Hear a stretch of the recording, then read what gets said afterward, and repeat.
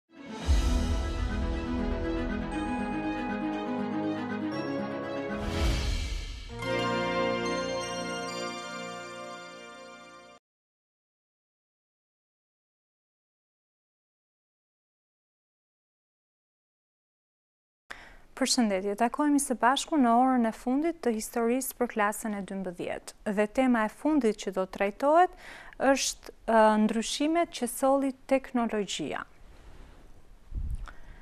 Cilat janë disa nga çështjet kryesore që do të diskutohen gjatë orës së mësimit?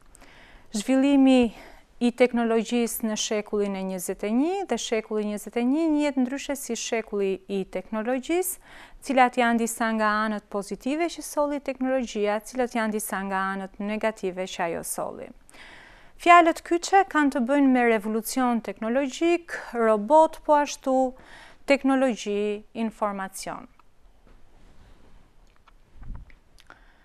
Vazhdojmë, shekulli i njëzet e një është cilësuar si shekulli i teknologjisë. Ka të bëjë me avancime shumë në fushën robotike, për sa i përket teknologjisë së re, ka të bëjë me automatizimet, rritjen e përdorimit të teknologjisë në pajisjet portative dhe gjithashtu përdorimin e programeve të ndryshme kompjuterike.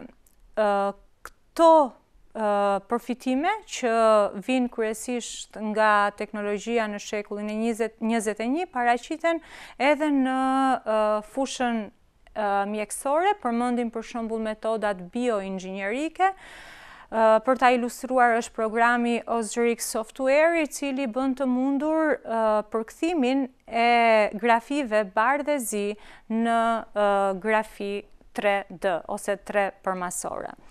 Gjithashtu do t'i referohemi fushës së edukimit, nëse do t'i referohemi fushës së edukimit, përfitimet janë të shumta të teknologjisë, kemi përdorimin e teknologjisë në të gjitha në të gjitha objektet edhe në të gjitha mjetet që përdorim që neve përdorim sot praktikisht, dhe gjithashtu ndihmën që teknologjia na sjell sa i përket fushës së mësimdhënies.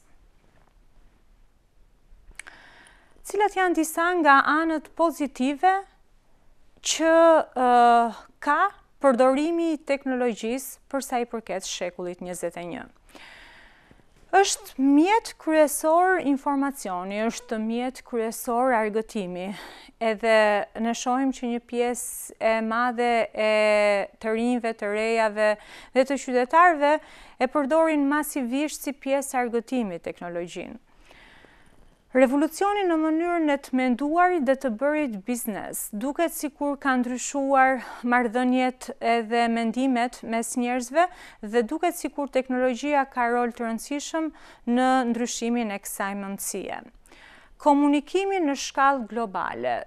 Tashmë ne mund të komunikojmë dhe të lidhemi në mënyrë të shpejtë me njerëz të cilët i kemi nga njëri skaj i botës në tjetrin.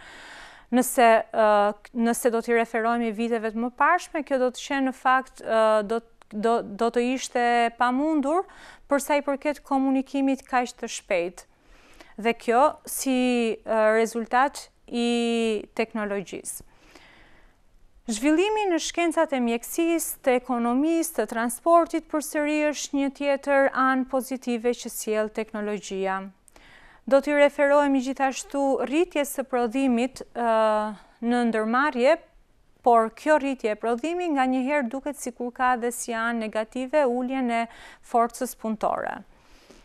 Urbanizimi i qendrave të mëdha, i qyteteve po ashtu që vjen si pasojë e përdorimit e zhvillimit të teknologjisë dhe instalimit të institucioneve kryesore të cilat përdorin teknologjinë në këto vende, në këto qendra të mëdha urbane, dhe duket sikur ka sjellë edhe një farë ndryshimi për sa i përket strukturës së ekonomisë. Ka kaluar nga shoqëri industriale në shoqëri pasindustriale. Por sikurse flasim për pasoja pozitive, flasim gjithashtu dhe për pasoja negative që vjen në që vijnë në kuadër të teknologjisë. Një ndër ta për shembull është përdorimi i armëve të shkatërrimit në masë. Edhe si pasojë e përsosjes së tyre falë teknologjisë, kjo është një nga problematikat e mëdha me të cilat kërcënohet sot bota. Ndotja dhe dëmtimi i burimeve natyrore është pasojë negative që vjen si pasojë e zhvillimit të teknologjisë.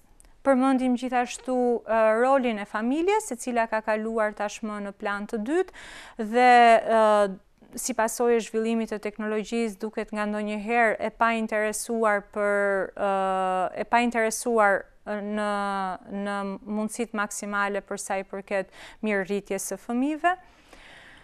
Probleme me shëndetin si pasojë e qëndrimit për një kohë të gjatë përpara kompjuterit, përpara telefonit, probleme me qëndrimin, me shtyllën kurrizore, probleme gjithashtu me funksionimin e trurit si pasojë e qëndrimit për një kohë të gjatë para pajisjeve teknologjike. Dhe duket sikur është fituar një farë varësie nga teknologjia dhe kjo duket sikur është e ngjashme me varësinë që mund të, mund të përfitohet nga përdorimi i drogës i alkoolit. Duket një farë lidhje ose një një dëmtim i trurit si pasojë e qëndrimit për një kohë të gjatë përpara pajisjeve teknologjike. Detyra e shtëpisë për herën tjetër do të jetë evidentoni rolin e shkencës dhe teknologjisë në jetën ekonomike dhe bashkëkohore në ditët e sotme. Faleminderit që ndoqët orën e fundit të historisë të klasës së dymbëdhjetë.